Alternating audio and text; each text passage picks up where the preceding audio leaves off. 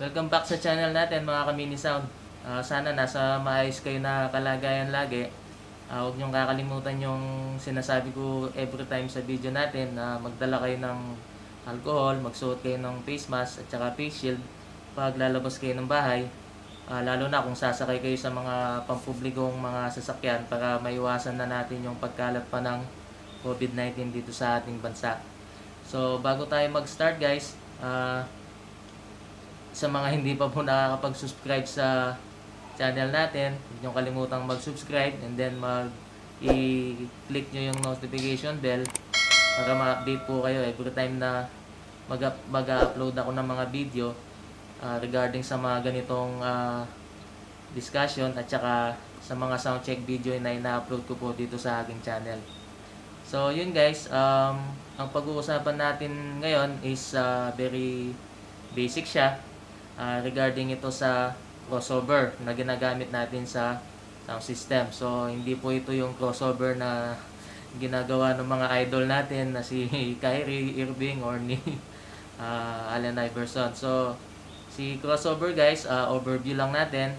Ah, ano ba yung papel niya sa ating sound system? Si crossover, siya yung ah, nagpipilter ng mga frequency papunta sa ating mga amplifiers or sa ating mga speakers.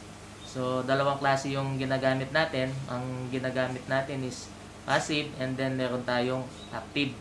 So, unahin natin si ah, ah, passive crossover. Si passive crossover, ah, hindi siya hindi niya na kailangan ng power kaya siya tinawag na passive dahil dumadaan lang sa kanya yung ah, output ng amplifier then siya, sa kanya ipipilter yung mga frequency papunta sa mga speakers natin so hindi niya kailangan ng power para makapag-filter ng mga frequency na pupunta sa ating mga speakers.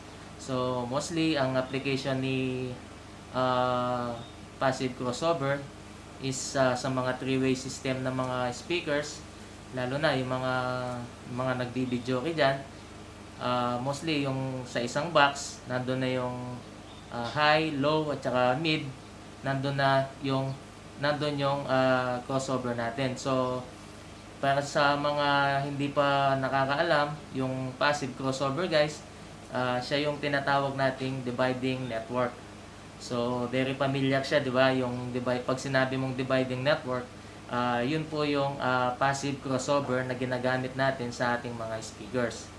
So, mapunta naman tayo kay ah, active. Si active crossover, kaya siya tinawag na ah, active crossover dahil kailangan niya ng supply, kailangan niya ng power para ma-filter niya yung mga signal papunta sa, papunta sa ating amplifiers. So, unlike si passive, si passive hindi na niya kailangan, hindi mo na kailangan isaksak sa sa 220 sa sa kuryente para mag-function siya. So si active crossover kailangan may power siya para makapag-filter niya, makapag-filter siya ng mga frequency papunta sa ating mga amplifiers. So yung yun yung kaibahan nila. Ang application naman ni active is mostly sa mga multiple amplifier setup tulad ng dalawa, tatlo, or apat, or ilan pang mga amplifiers yan. So, doon madalas ginagamit si active crossover. And then, ang kaibahan pa niya is uh, si active, very, very flexible siya. Uh, po pwede mong i-adjust yung mga frequency depende sa timpla or sa tunog na gusto mo. Uh, unlike unlike kay uh, passive, kung ano yung nilabas niya na frequency, is ah, hanggang doon lang yung ah, frequency na mailalabas niya, hindi mo na yung pwedeng i-adjust. Ma-adjust mo na lang yung ah, yung tone, yung tunog pagdating sa ating mga equalizer. And then doon sa mga sa mixer, mayroon ding equalizer yan. Mayroon may tone control din yan. So doon yung ah, po pwede mo ma-adjust. Pero ah, si active naman, doon pa lang bago pa lang papasok sa ating mga amplifiers yung ah, ah, signal is po pwede mo na siyang i-adjust depende doon sa gusto mong ah, ah, tono papunta doon sa ah, mga speakers natin.